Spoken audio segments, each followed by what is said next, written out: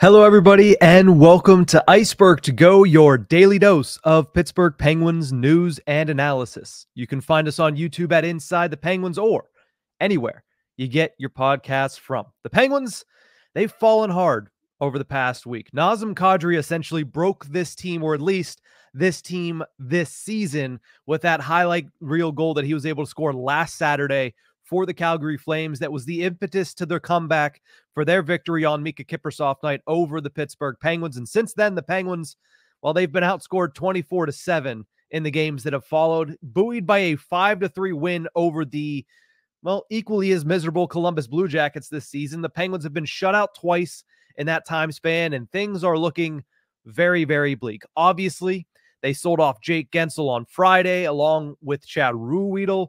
Players look to have thrown in the towel a bit at certain points throughout certain performances, and yet Mike Sullivan's message remains geared towards the Stanley Cup playoffs. Before their loss on Saturday to Boston on the Disney Channel game, the Big City Greens game, if you will, Sullivan reiterated the plan for this Penguins team moving forward into the final calendar month of the 2023-24 season, saying, quote, we're going to try and make the playoffs. The way to get there is focus on the game at hand, taking it game by game and trying to stack victories towards a comeback, a miraculous comeback into postseason contention. I think most people, and Nick Horwat, who's my co host on Tip of the Ice-Burgh, said this last week. Most Penguins fans are smart enough to realize that the playoffs are somewhat of a pipe dream at this point. And by somewhat, majority pipe dream at this point for the Penguins. They're in seventh place in the wild card race eight points behind the second wild card spot, which right now is being held by the New York Islanders. Zero games in hand is the big thing. 10 points behind the Philadelphia Flyers for the third place position in the Metropolitan Division with only two games in hand. And if you look at it right now, they have a higher percent chance of landing the first overall pick in 2024 which is set to be Macklin Celebrini at 6% chance as of right now, than they do to make the playoffs, according to MoneyPuck.com, which is 3.5% chance. So, with all of that being said, the thought process has to shift for the Penguins and for Mike Sullivan.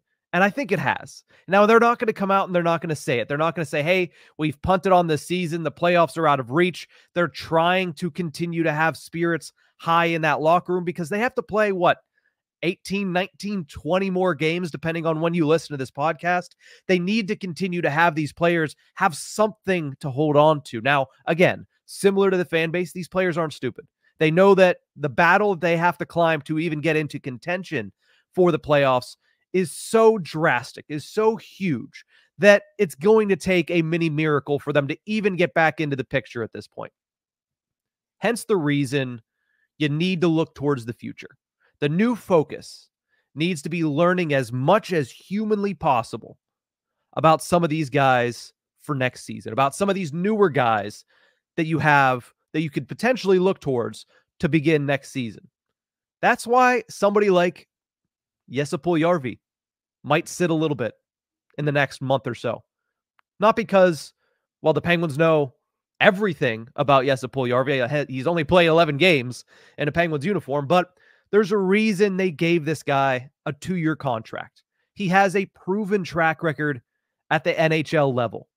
They're trying to see more about guys like a Jonathan Gruden, who's on an expiring contract, will be a restricted free agent in the summer. They're trying to learn a little bit more about Valtteri Puustinen, who is on an expiring contract. He's played a lot more this year, but they're trying to learn as much as humanly possible. What positions can they put him in where he can handle it comfortably. They're trying to learn that in this last month of the season. They're trying to learn more about Emil Bemstrom, who they acquired last month from the Columbus Blue Jackets. He is also on an expiring deal, will be a restricted free agent. Yes, the Puljujarvi signed that two-year contract for a reason. The Penguins knew that they wanted Puljujarvi to be part of the plan, part of the team next season. And yes, when it comes to those four players, has Puljujarvi performed better than Jonathan Gruden? Yes. Has Puljujarvi performed better than Emil Bemstrom? Yes. Would he get them closer to winning hockey games than having some of these other guys in the lineup? Yeah, probably. But Mike Sullivan knows. He won't say it outwardly, but he knows the odds of the Penguins making the playoffs are slim to none. And the directive from Kyle Dubas is likely we need to see what we have in some of these guys that we have to make a decision on this summer. Are they going to tender qualifying offers to Bemstrom and Gruden and Puustinen? And if they do, what do they want in return? What do they see as the future of these three players and maybe another one heading into next season? It's all about learning over the final month of the season, all about looking towards the future, looking towards next season, and seeing what you have in some of these guys. That way, if a guy like Valtteri Puustinen proves over the next 18 games that, hey, he is a top six guy at the National Hockey League. He has steps to take still, but he's somebody that the Penguins can count on heading into next season.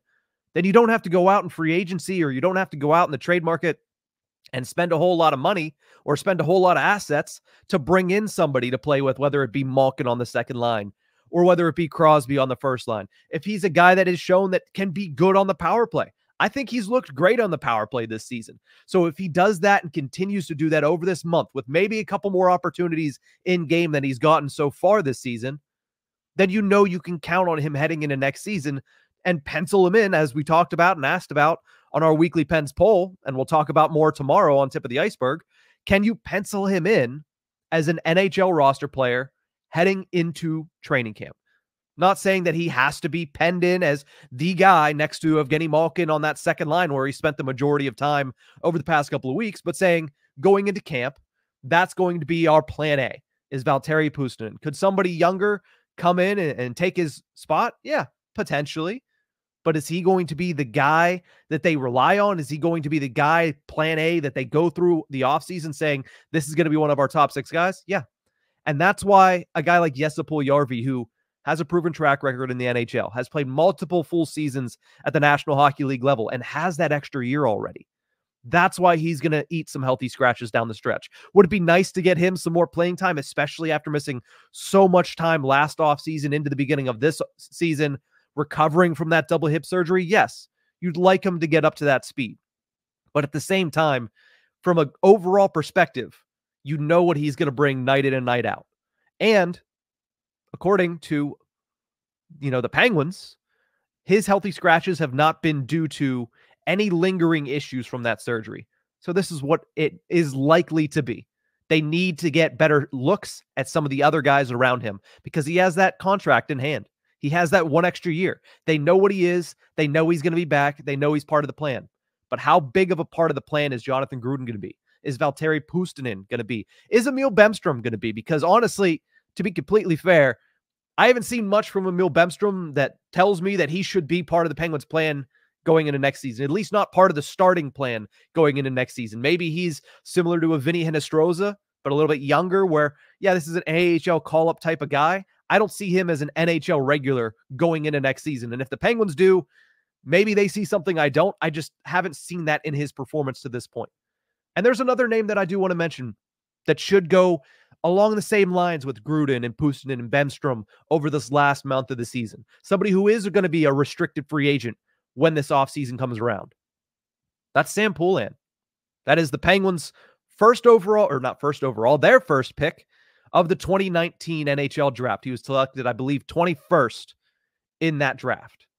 Back from injury at the American Hockey League level. He has a couple games underneath his belt now since that return from injury has 24 points in 30 games played this season. And a lot of people have been clamoring to bring Poulin up. A lot of people have been asking in the comment section, why hasn't he been pulled up? A lot of it's his, it's timing. He was injured at the beginning of the season. So when those injuries occurred early in the season, the first time Noel Acciari was out, Poulin was just getting back into the swing of things. Then he went red hot for a little while. And then by the time Noel Acciari got injured again, where would have been what would have been the opportunity for Poulin to come up, Poulin was out again with an injury. Now he's back. The Penguins have practically punted on the season.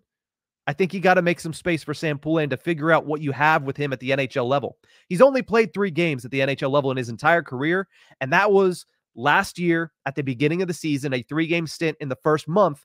And there has been so much that has happened since then. There has been his break to deal with his mental health issues, to deal with his mental status as a person. He came back. He had a half decent season where he only had a couple of games at the end of the year. He had a great summer. He had a really good prospect camp. He had a really good training camp. Then he gets injured at the beginning of the season with that high ankle sprain, comes back, looks great again. And then he goes out with injury, comes back, and guess what? He's making some plays. He's making some highlights. He's looking great again. When he's been on the ice this year, he's looked very good at the American Hockey League level. The problem has been he hasn't been available when the Penguins have had opportunities to call him up and give him a chance. Now, the Penguins, they have an opportunity to call him up and give him a chance, and he's healthy and available. I think it's the perfect time to bring him up, get him some time, maybe a 10 game sample size to see what he is at the National Hockey League level. Here's the quotes from Kyle Dubas. Nick Horwat asked him at the beginning of the year, right after training camp, right before puck dropped on the opening of the season. He said, Do you see Sam Poulin getting an opportunity to have some extended looks at the National Hockey League level? That's what Horwat asked Kyle Dubas. And here was his response quote, if Sam keeps on stacking days and weeks as he has in training camp, he's going to push himself to earn his way back to the National Hockey League roster. Now, he started the year with an injury, but like I said, when he's been on the ice, he stacked those performances. He's stacked and built off of what he started in prospect camp, in training camp. He's built to be one of the best and most important players on that Wilkes-Barre Scranton Penguins team. And the upcoming playoff run for them is going to be huge for him and the way the organization sees him. But between now and then, you have to give him some looks at the National Hockey League level. I think that is a, a, imperative for the Penguins at this point. Another quote from that same press conference, that same answer was, quote, could I see him spending significant time in the NHL this season? Absolutely. Like I mentioned, he probably would have already had a couple games under his belt if he was healthy at certain points throughout the season. But when he's been healthy, he's been great. I think this is the time you get to see that significant time over the, the remainder of March, the beginning of April. He needs to join that group of Jonathan Gruden, Valtteri Puustinen, and Emil Bemstrom at the NHL level because the Penguins need to know what they have in him. They need to know if they can count on him to be maybe a third line center. Maybe if you bring him up and he's really good, you put him at third line center. And as we've said multiple times this season, maybe you drop Lars Eller down to the fourth, you move Noel Acciari to the wing where he is at his best, and you see if that produces some better results for the Penguins at the beginning of next season. But at the end of the day, this is a scouting mission for the rest of the season for the Penguins.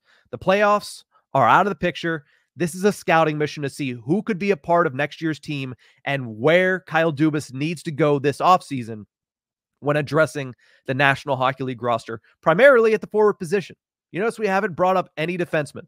It's because there's not a lot of young defensemen at the AHL level that could really come up and make that same impact that these guys can next season. Gruden, Puustinen, Bemstrom, Poulin, you need to see a lot from all of them. And because of that, you're probably going to see a little bit less from Jesse Yarvi as the season progresses now into the final stages of the 2023-24 season. That's my prediction. That's where I think the Penguins should go with this. But at the end of the day, we'll have to just watch and see. Penguins, man, they need to have a little bit more life than they've had over the past week. Like I mentioned, outscored 24 to 7, and five of those seven goals came in one game against Columbus. So it's not been pretty bring up some of these young guys, give the fans a little taste of what is to come, and, and hope that that taste is something positive. But that's going to do it for this episode of Ice-Burgh to Go. Thank you guys so much for tuning in. And remember, you can find us on YouTube at Inside the Penguins or anywhere you get your podcasts from.